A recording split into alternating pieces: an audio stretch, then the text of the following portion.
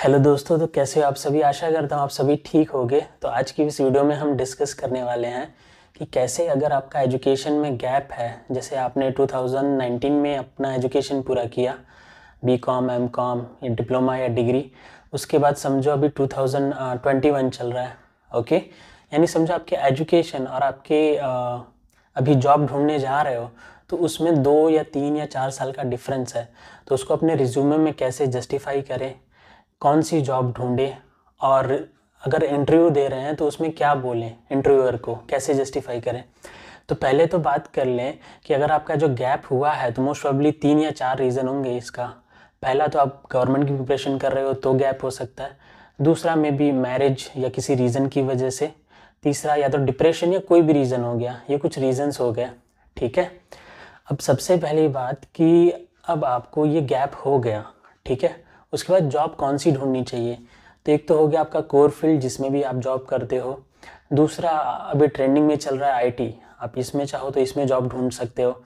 तो अगर अगर आईटी में आपको कोई सॉफ्टवेयर सीखना है तो कौन सा सीखना चाहिए? वो आप किसी वर्किंग प्रोफेशनल से गाइडेंस ले लो। मेरा सजेशन है जिसका भी गैप है, वो डायरेक्टली जाके इंटरनेट पे ढूंढ के कोई चीज़ ना सीखें। कोई वर्किंग प्रोफेशनल जैसे कि मैं एक वर्किंग प्रोफेशनल हूँ, मैं एक सॉफ्टवेयर पे काम करता हूँ। सिमिलरली बहुत सारे पर्सन होंगे जो ऑलरेडी इंडस्ट्री में वर्क कर रहे हैं।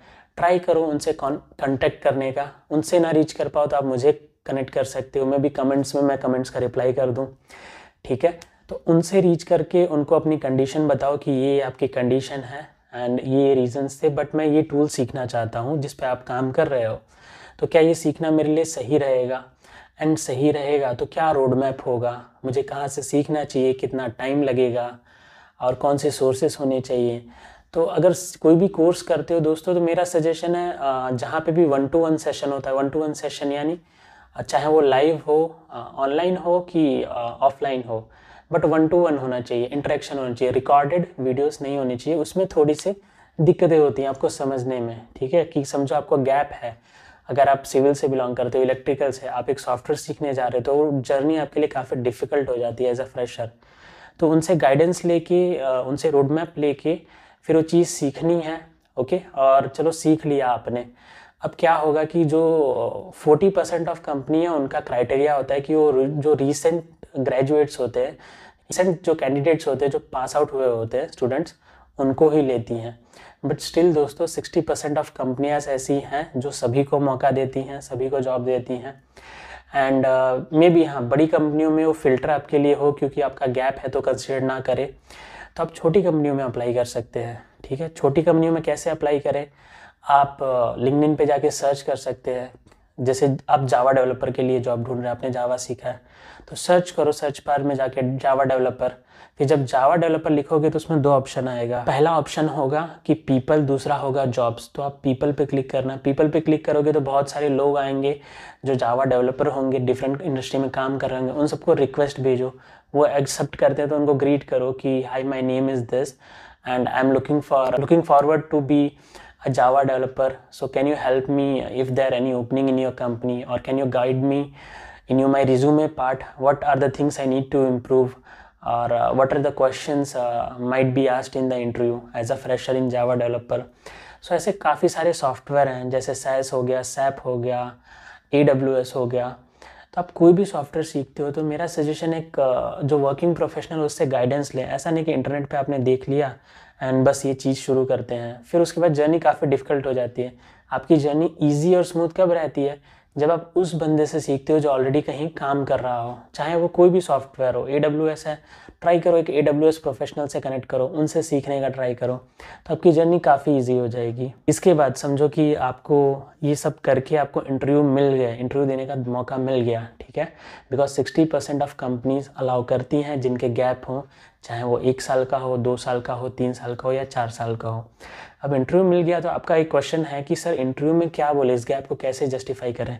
तो दोस्तों, अगर आप गवर्नमेंट जॉब की प्रिपरेशन कर रहे थे तो सीधा बोल दें I was doing preparation for government job you are not the only one person आप एक अकेले वो व्यक्ति नहीं हो जो गवर्नमेंट जॉब की प्रिपरेशन कर रहे थे और अब प्राइवेट में जा रहे हो। बहुत सारे लोग कर चुके होंगे।